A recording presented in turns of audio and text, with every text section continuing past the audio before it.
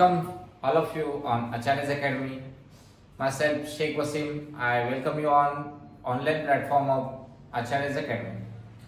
तो बेसिकली मैं आपको अपने बारे में इंट्रोडक्शन दे देता हूँ मेरा नाम शेख वसीम है मैं आपको ज्योमेट्री का पढ़ाने वाला हूँ क्लास टेंथ के लिए ठीक है और अभी हम आज क्या करते हैं? बेसिक बेसिक ज्योमेट्री के बेसिक कंसेप्ट लेते हैं, उसके बाद एक ट्रायंगल चैप्टर है, उसका थोड़ा बहुत हम लोग और लुक करते हैं, ठीक है? तो शुरुआत में हम देखते हैं ट्रायंगल चैप्टर को। हमारा छोटा चैप्टर है, ये ट्रायंगल है। इसमें, अभी हम इसमें क्या देखने वाले बेसिक बेसिक एक सिमिलर सिमिलैरिटी ओके सिमिलैरिटी क्या होता है? कॉन्ग्रुएंसी क्या होता है? और उसके बाद उसकी कंडीशंस क्या है तो उसको क्यों सिमिलर कब होता है कॉन्क्रीट कब होता है, और वो हिसाब से उनको वायर प्रकट करना, ठीक है? अभी हमारी दूसरी कंडीशन देखेंगे कॉन्ग्रेंसी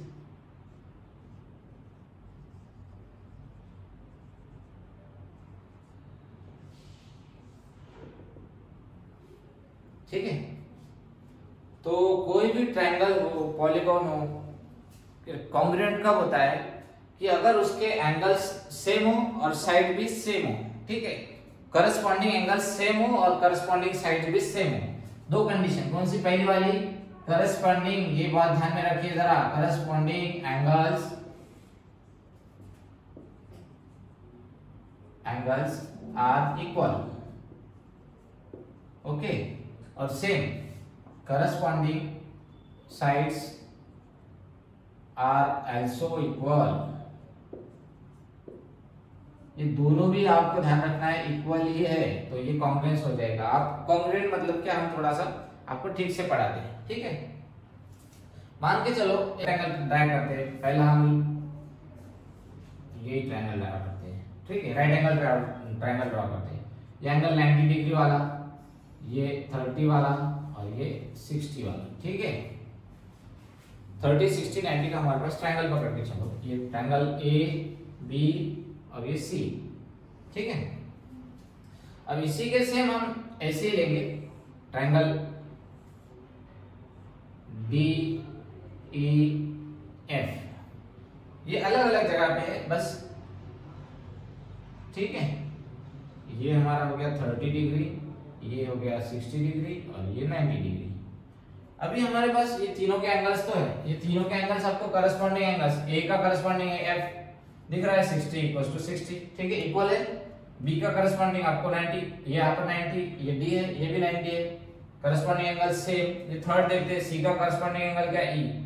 ये 30 डिग्री है, ये 30 डिग्री है, तीनों भी सेम है, ठीक है? तो ये हमारी पहली कंडीशन तो यहाँ फुलफिल हो रही है। अभी सेकंड कंडीशन कब फुलफिल होगी?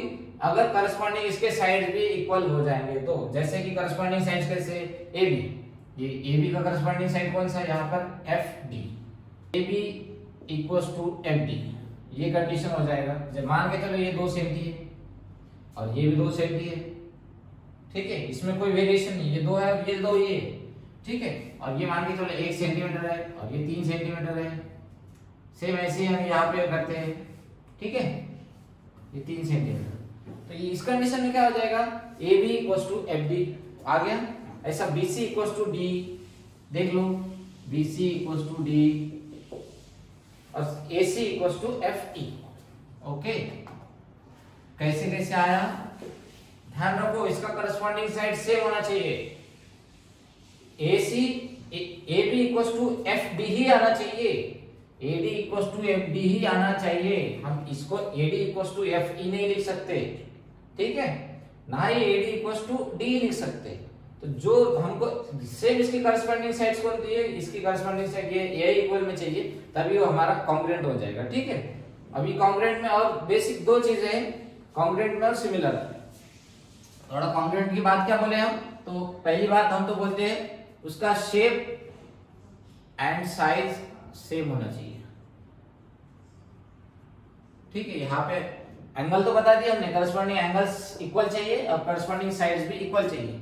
लेकिन उसका शेप और साइज़ भी सेम चाहिए। जैसे कि हमारे ये दिख रहा है हमको राइट एंगल ट्रायंगल है, और ये भी राइट एंगल ट्रायंगल है। इसका शेप तो सेम है राइट एंगल ट्रायंगल और साइज़ ये ये वाली साइड दो सेंटी है तो ये भी दो सेंटी का ही है। ये वाली साइड एक सेंटी की तो ये भी एक सेंटी की और ये वाली साइड तीन सेंटी की तो वो भी तीन सेंटी की चाहिए तो अगर ये सेम कंडीशन बन रहा है, हमारा एंगल्स इक्वल हो रहे हैं साइज़ भी इक्वल हो रहे हैं, और शेप और साइज़ ये तीनों भी सेम हो रहा है, तभी हम उसको बोल सकते हैं कि वो शेप कॉन्ग्रेंट है। ठीक है? सिंपल सिंपल अब ये का हो गया हमारा। अभी हम दूसरा देखते हैं सिमिलैरिटी का। इसमें कोई डाउट नहीं ना आपको? सिमिलैरिटी को हम थोड़ा अलग से लिख लेते हैं। यहाँ पे लिख लेंगे हम ये थर्ड वाली। Shape and size same okay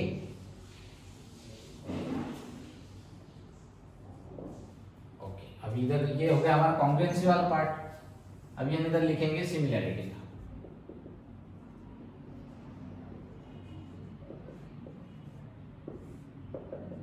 okay ये कॉन्ग्रेंसी था हमारा ए पार्ट और ये वाला बी पार्ट कॉन्ग्रेंसी के हमारे पास तीन कंडीशंस कौन से कौन से बने? Corresponding angles are equal okay corresponding sides are also equal angles और साइड्स इक्वल है और शेप और साइज़ सेम है। ऐसे ही हमारा ये सिमिलरिटी में तीन कंडीशन है। एक पहली वाली करस्पॉन्डिंग एंगल्स आर इक्वल देखो, पहली वाली कंडीशन तो सेम है। Okay corresponding angles are equal ये ये भी तो वही था। करस्पॉन्डिंग एंगल्स आर इक्वल इसमें भी हमको एंगल्स इक्वल ही चाहिए। लेकिन अब जो दूसरी कंडीशन है, वो चेंज हो जाती है। यहाँ पर करस्पॉन्डिंग साइड्स भी इक्वल थी। यहाँ पर क्या हो जाएगा? Corresponding sides are proportional. Are in same proportion, okay?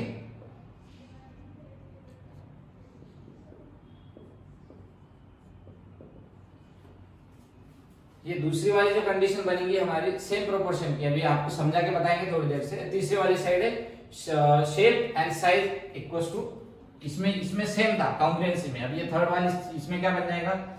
Shape same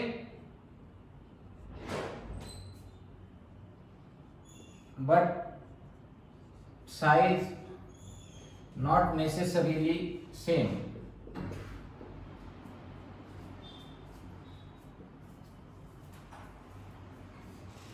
ठीक है?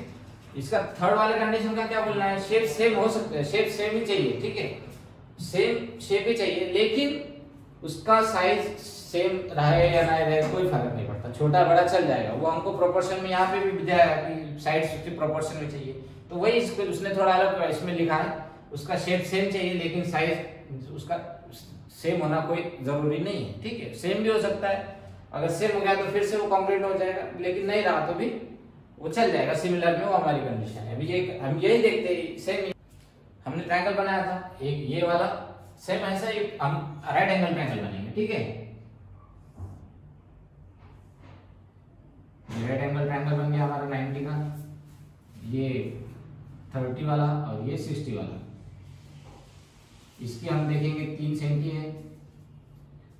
इसके बाद ये दो सेंटी है और ये एक सेंटी ऐसा मान के चलो, ठीक है? ऐसा अगर ये है तो अब दूसरा वाला ट्रायंगल जो है, ये ट्रायंगल बन गया हमारा एबीसी और ये ट्रायंगल हमारा बन जाएगा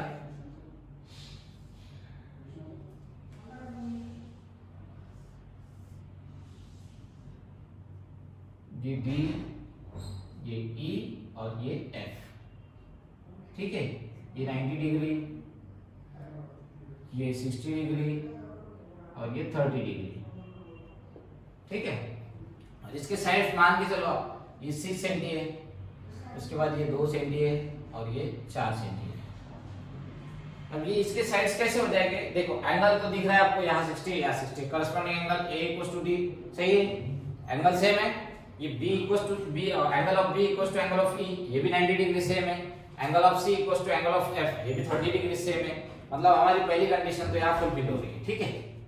सिमिलरिटी में पहली कंडीशन फुलफिल हो गई करस्पॉन्डिंग एंगल्स आर इक्वल ठीक है? एंगल इक्वल हो गए करस्पॉन्डिंग दूसरी कंडीशन देखते हैं corresponding sides are in same proportion ये कैसे देखेंगे हम? देखो, इसकी साइड पहली वाली साइड कौन सी? ए बी तो ए बी को हम कैसे लिख सकते हैं? ए बी का लेंथ कितना है? दो सेंटी। उसके करस्पॉन्डिंग ये डी ई का लेंथ कितना है? चार सेंटी। कितना हो गया? One by two. ठीक है? सेम अभी ये बी सी का देखते हैं। इसका लेंथ कितना है? One centi. और बीसी के करस्पॉन्डिंग जो साइड है, उसका लेंथ कितना है? बीसी की साइड है करस्पॉन्डिंग साइड है ईएफ उसका लेंथ है दो। To senti. ओके ये भी वन बाय टू हो गया। अभी थर्ड साइड देखते हैं एसी इसकी लेंथ कितनी है? थ्री सेंटीमीटर और इसकी करस्पॉन्डिंग साइड कौन सी है डीएफ इसकी लेंथ कितनी है? सिक्स सेंटीमीटर तो ये भी बन जाएगा वन बाय टू हो गया? तो ये तीनों भी जो प्रोपोर्शन आ रहे हैं one by two one by two और वन बाय टू ये तीनों भी सेम प्रोपोर्शन में आ रहे हैं, ठीक है? तो इसका मतलब हम क्या बोल सकते हैं? ये corresponding sides are in same proportion okay तो ये भी हमारी साइड फुलफिल होगी अभी तीसरा क्या बच रहा है? Shape same but size not necessarily same हम ये देख सकते हैं, यहाँ पे इसका शेप सेम दिख रहा है, हमको राइट एंगल ट्रायंगल ये भी राइट एंगल ट्रायंगल दिख रहा है, ठीक है? तो ये तो आप देख के भी बता सकते हो कि इसका शेप सेम है साइज़ कोई मैटर नहीं करता। ये छोटा है, ये बड़ा है, ठीक है? लेकिन ये हमारा शेप सेम दिख रहा है, इसीलिए हम इसको बोल सकते हैं सिमिलर ठीक है? तो ये हो गया हमारा बेसिक कॉन्ग्रुएंसी वाला और सिमिलरिटी का पार्ट इसमें आपको कुछ डाउट नहीं है, ठीक है? डाउट है कोई? चलो, कोई डाउट नहीं, ठीक है, आगे बढ़ते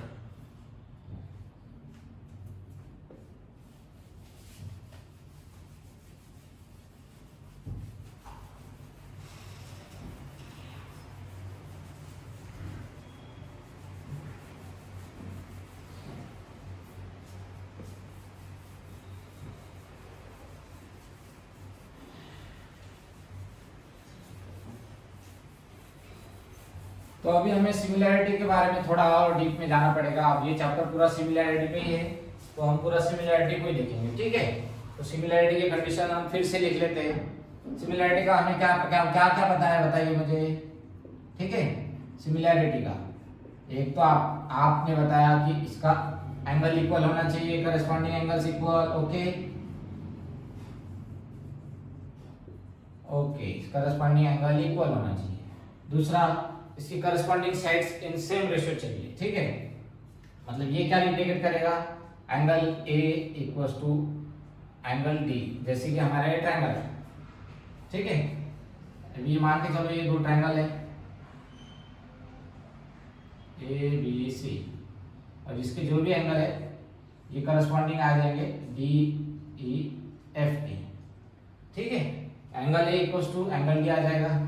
Angle B equals to angle E आ जाएगा और angle C equals to angle F ये तीनों कंडीशन हमारा पहला वाला पहले वाली कंडीशन बता रही है। Corresponding angle should be equal ठीक है? Angle A equals to angle D angle B equals to angle E और angle C equals to angle F ये तीनों कंडीशन हमारी बन गई। ठीक है? पहली वाली कंडीशन तीनों एंगल सेम आ रहे हैं।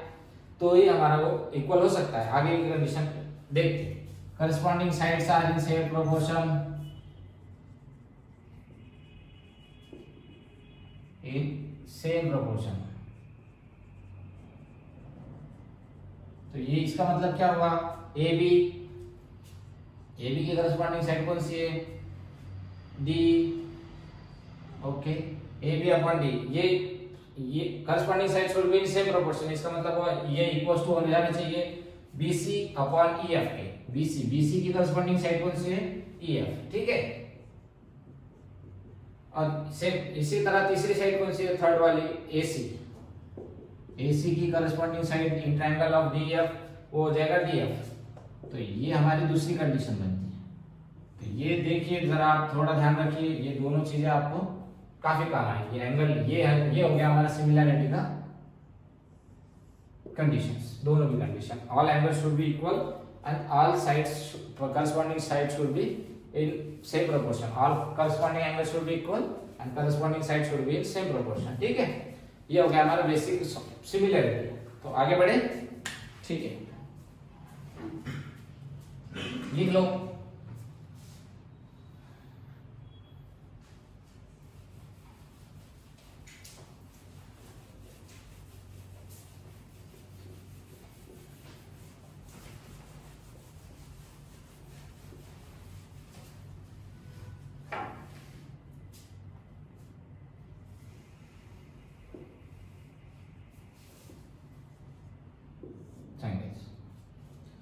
ट्रायंगल्स में अब हम हो गए सिमिलर तो हो गया पॉलीगॉन ठीक है? अभी हम देखेंगे इसका पहले एक्सरसाइज लेते हैं ठीक है? Exercise six point one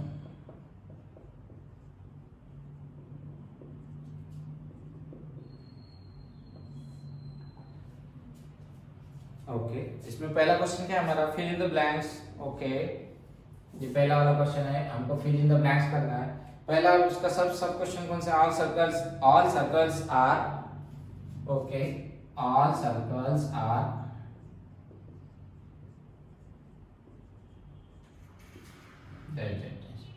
अभी हम, आप, अभी हमारा थोड़ी देर पहले क्या पता है आपको, सब सर्कल्स कैसे होते हैं? चाहे उसका रेडियस छोटा हो, चाहे बड़ा हो, ठीक है? ये एक दूसरे के अंदर एग्जैक्टली exactly हो सकते हैं और सब सर्कल सिमिलर होते हैं, इसकी shape size shape same shape दिख रही है आपको। साइज़ भले ही सेम ना हो, लेकिन शेप शेप तो सेम है। तो वो कैसा हो जाएगा? एक ऑल सर्कल्स आर सिमिलर ठीक है? इसमें तो कोई एंगल नहीं है, कोई साइड नहीं है तो हमारे पास तीसरी कंडीशन ही बनती है। तो उससे हमको क्या पता चलता है, इसका शेप सेम है बट साइज़ डिफरेंट है। तो ये सब पूरे सर्कल ले लो आप इसका आर वन आर टू जितना भी इसका रेडियस जितना बढ़ा सकते हैं, उतना बढ़ा लो या जितना छोटा कर सकते हैं, उतना कर लो, लेकिन वो सब सर्कल सिमिलर हो जाएँगे, एक दूसरे के सिमिलर ठीक है? ऐसा ही दूसरा हमारा बनेगा। दूसरा क्या है? All squares are okay all square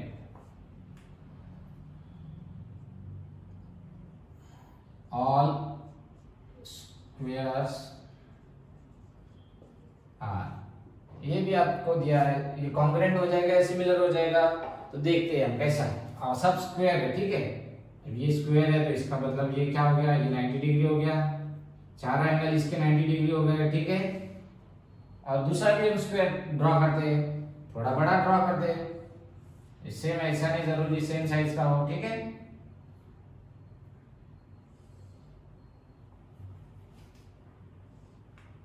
ठीक है। ये भी 90 डिग्री हो गए ऑल एंगल्स ठीक है? क्योंकि ये स्क्वायर है, ये स्क्वायर को नाम दे देते A B C D okay और ये दूसरा एंगल ये square E F G H ठीक है? तो ये दो स्क्वायर हमको क्या दिख रहा है? इसमें चारों के चारों एंगल हमारे सेम आ गए। इसका आप शेप साइज़ देख सकते हो।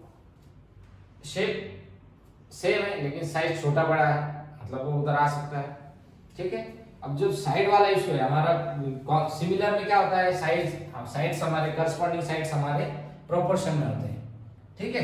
अब ये ये इसमें क्या हो जाएगा? ये तो अगर ये, ये अगर स्क्वायर है तो इसकी हर साइड मान के चलो ए हो जाएगी। हर साइड अगर मान लिए ए है तो ए एक साइड ए है तो चारों साइड ए हो जाएगी। ठीक है? स्मॉल ए और अगर इसकी साइड मान के चलो बी है स्मॉल बी तो वो चारों चारों साइड बी हो जाएगी, क्योंकि स्क्वायर है, हर साइड उसकी सेम होती है। तो ये इसकी करस्पॉन्डिंग साइड का रेशियो देखते हैं हम एडी अपॉन ई एच का। तो ये एडी अपॉन ई एच का रेशियो क्या हो जाएगा? ये हो जाएगा ए अपॉन बी सेम हम दूसरा देखते हैं A B upon E F का। वो क्या हो जाएगा? वो भी हो जाएगा ए अपॉन बी तो ऐसे ही करके हमको चारों भी मिलेगा, ये ए अपॉन बी ये भी ए अपॉन बी तो हमको क्या मिल रहा है? पूरे ऑल एंगल्स आर इक्वल ठीक है, ये सब एंगल्स 90 डिग्री है। ठीक है ऑल एंगल्स आर 90 डिग्री पूरे साइड से प्रोपोर्शन है। इक्वल तो नहीं है, लेकिन प्रोपोर्शन में है। और सब उसका शेप सेम है और साइज़ छोटा बड़ा है। तो इससे हमको क्या पता चलता है? पूरे ऑल स्क्वायर्स आर सिमिलर ठीक है? Okay okay? हाँ चलो अभी तीसरे क्वेश्चन की तरफ़ बढ़ते हैं। समझ में आ गया? Okay all dash dash dash triangles are similar okay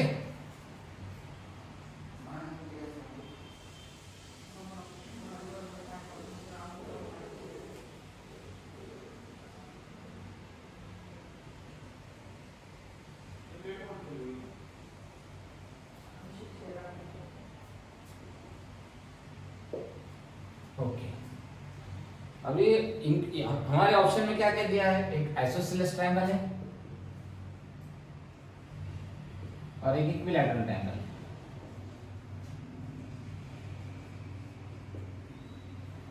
ठीक है? अभी हम पहले इसको देख लेंगे एसोसिलस ट्रायंगल को ड्रॉ करते हैं। ठीक है? एक एसोसिलस ट्रायंगल ड्रॉ करते हैं। मान के चलो हमने इसको ड्रॉ कर लिया। ये सेवेंटी ये सेवेंटी और ये फोर्टी ठीक है? आइसोसिलेस ट्रायंगल में कंडीशन क्या होती है? कि उसके दो एंगल्स और दो साइड्स सेम होते हैं। ठीक है?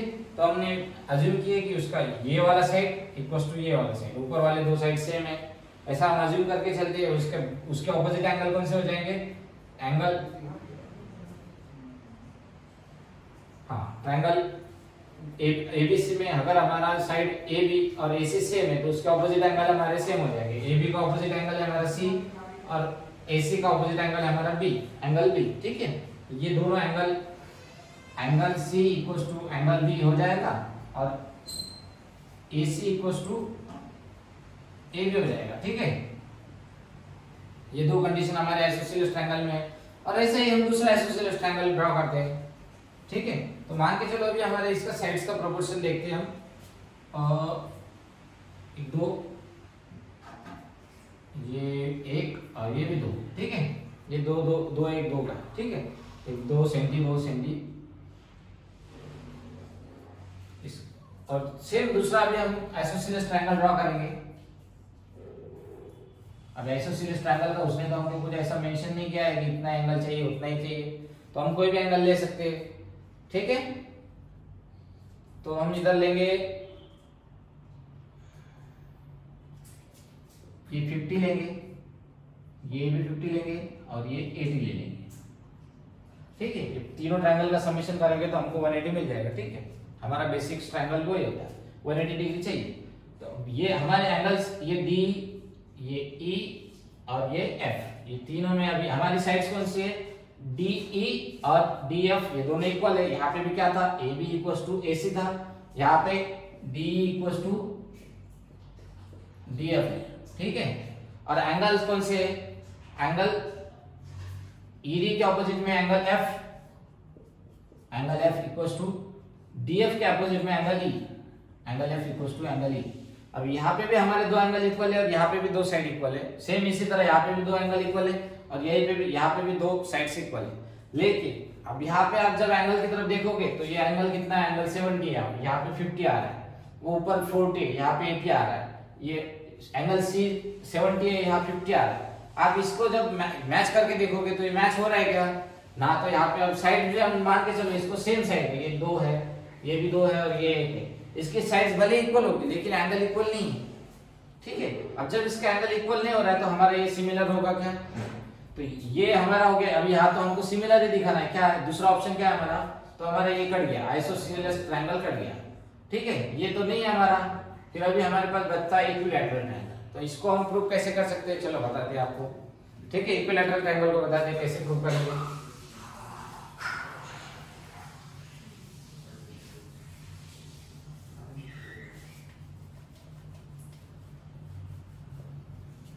अब इक्विलैटरल ट्रायंगल बेसिकली होता क्या? इक्विलैटरल ट्रायंगल बेसिकली वो ट्रायंगल है जिसकी तीनों साइड्स सेम हो और तीनों एंगल्स 60 डिग्री एंगल्स हो। ठीक है? तो तीनों एंगल 60 डिग्री है मतलब वो उसका पूरा ट्रायंगल का टोटल एंगल कितना बन जाएगा? 180 डिग्री तो वो तो हमें वही चाहिए। ठीक है? तो ये हम निकालेंगे एक आइसो एक इक्विलैटरल ट्रायंगल इसका ये एंगल 60 डिग्री है, ये वाला भी एंगल 60 डिग्री है और ये वाला भी एंगल 60 डिग्री है। मान के चलो एंगल ये ए बी सी ये हमारा ट्रायंगल हो गया, उसके तीनों एंगल से 60 60 डिग्री ठीक है? तो अब इसका दूसरा भी, अब कोई दूसरा भी निकाल लेते हैं, ठीक है?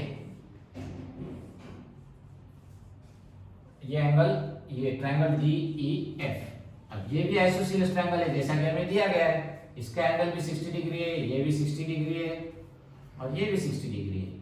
अब इसके साइड्स हम लिख लेते हैं, दोनों के साइड्स मान के चलो हमको। मिल रहा है। इक्विलैटरल ट्रायंगल का कंडीशन क्या होता है? उसके तीनों साइड सेम होती है, ठीक है? तो इसको मान के चले हम। इसकी साइड अगर ए है तो अगर एक साइड ए है तो दूसरी साइड भी ए हो जाएगी। और दूसरी साइड ए है तो तीसरी भी साइड ए हो जाएगी, ठीक है? और ये मान के चलो, ये सेकंड वाला जो इक्विलैटरल ट्रायंगल है, इसकी साइड बी अगर एक साइड भी है तो रिमेनिंग दो साइड भी इसकी भी हो जाएगी तो मैं यहाँ भी लिख सकता हूँ, ठीक है? तो अभी हम यहाँ पे आप देख सकते हो, हमारी कंडीशन क्या है? वो एक तो पहले शेप और साइज़ में शेप सेम होना चाहिए और साइज़ वेरिएशन कर सकता है। ठीक इसका साइज़ में क्या एंगल साइड ए है ये बी है तो साइज़ थोड़ा बहुत कम ज़्यादा हो रहा है, वो चल जाएगा। एंगल पहला वाला कंडीशन हमारा। एंगल इक्वल होना चाहिए। देखते हैं एंगल इक्वल है क्या? Angle A equals to angle D 60 degree angle B equals to angle C angle E ये भी 60 degree angle C equals to angle F ये भी 60 डिग्री तो हमारा पहला वाला कंडीशन तो आ गया। एंगल्स हमारे इक्वल हो गए। ठीक है? एंगल्स आर इक्वल ये इक्विलैटरल ट्रायंगल में हमारा एंगल इक्वल बन गया। अभी प्रोपोर्शन का देखना है सेकंड वाला condition side should be in proportion तो इसको चेक करते हैं। तो इसकी एबीसी ट्रायंगल एबीसी की पहली वाली साइड ए बी वो क्या है? ए और सेम उसकी ऑपोजिट ट्रायंगल डी की पहली वाली साइड क्या है? डी डी एफ़ की पहली वाली साइड डी तो वो उसका उसका मेज़रमेंट क्या है? बी ठीक है? तो हम उसको कैसे लिख सकते हैं? ए अपॉन बी ठीक है, लिख लिए। अभी ये इसका ही दूसरा साइड लेंगे हम एसी एसी की साइड क्या है? एसी की लेंथ है हमारी ए और उसकी करस्पॉन्डिंग साइड कौन है? डी एफ़ उसकी लेंथ कितनी है? बी आ गया A equals to B A upon B equals to A upon B आ गया? सेम ऐसी कंडीशन हमारा बीसी और ई एफ़ का हो जाएगा ए अपॉन बी तो हमें यहाँ पे क्या मिल रहा है? एक तो एंगल्स हमको इक्वल मिल रहे हैं और दूसरा हमारी साइड से प्रोपोर्शन मिल रही है। मिल रहा है तो हमारे ये कंडीशन में क्या हो जाएगा? All equilateral triangles are similar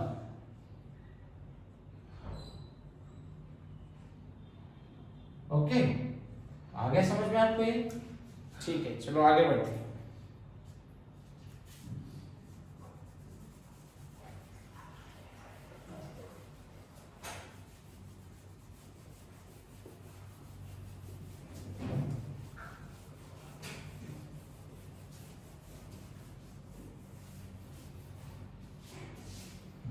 अभी उन्होंने क्या बताया give two different examples of pair of similar figure अच्छा इनको एग्जांपल्स चाहिए सिमिलर फिगर के example similar figures okay similar figures के हमारे पास एग्जांपल्स क्या होंगे? सर्कल्स जो कि हमने पहले बता चुकी। चाहे कितना भी छोटा रेडियस हो, कितना भी बड़ा हो, एक दूसरे के सिमिलर आते हैं, क्योंकि उसका शेप सेम होता है साइज़ भले वेरिएशन हो। और दूसरा ऑल स्क्वायर्स स्क्वायर हमने अभी प्रूव किया है। सब स्क्वायर सिमिलर होते हैं एक दूसरे के, ठीक है? और अगर तीसरा आपको लेना भी है तो इक्विलैटरल ट्रायंगल ओके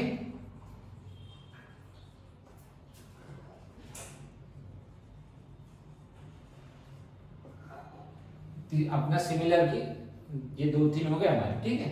एग्जाम्पल्स ऐसे नॉन सिमिलर के लेंगे हम लोग। नॉन सिमिलर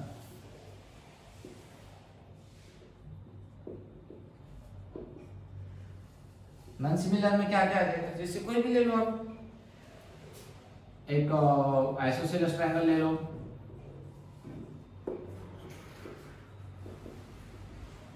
अभी हम देखिए उसका वो इक्वल सिमिलर नहीं हो रहा था।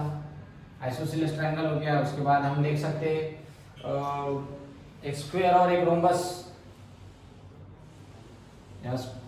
स्क्वायर एंड रोम्बस या तो आप तीसरा भी लिख सकते हो. स्क्वायर और rectangle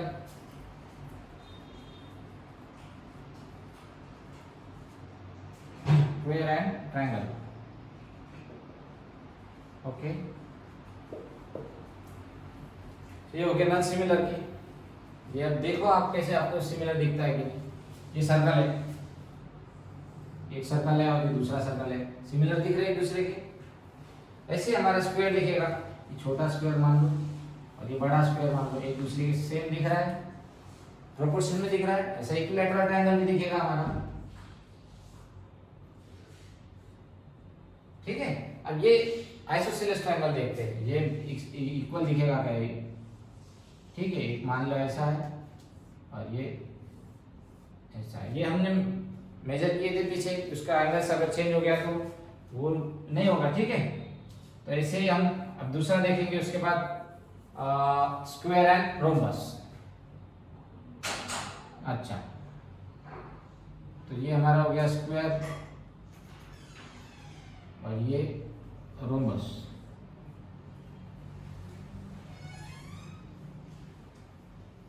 ठीक है?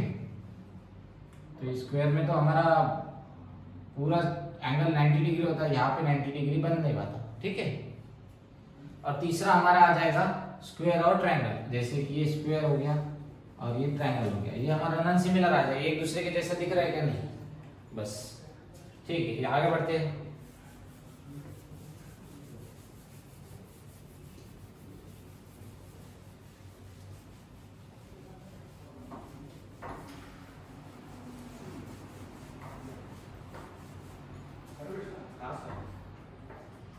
State whether following quadrilaterals are similar और नॉट ठीक है? अभी इन्होंने हमको दिए हैं दो दो क्वाड्रिलेटरल्स दिए और वो पूछा है सिमिलर है या नहीं? तो हम उसकी पहले ड्राइंग निकाल लेते हैं, ठीक है? पहले की ड्राइंग कैसी है? ओके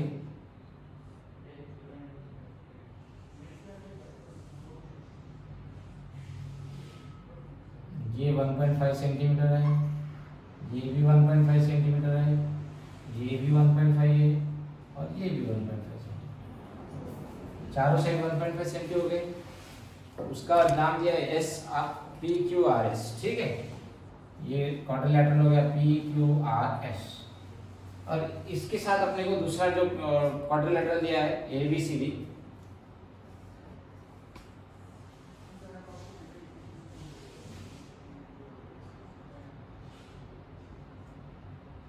इसके एंगल दिए है।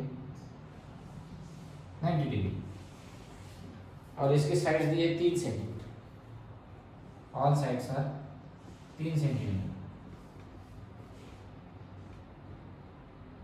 वैसे तो हमको देखते देखते से ही पता चल जाता है कि ये सेम नहीं दिख रहा है हमारा, ठीक है?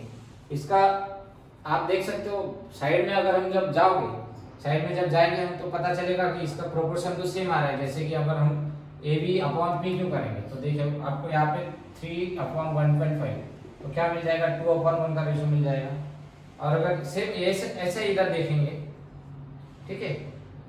B C upon Q R ये भी कितना मिल जाएगा? Three upon one point five ठीक है? ये टू अपन वन का रेशियो मिलेगा।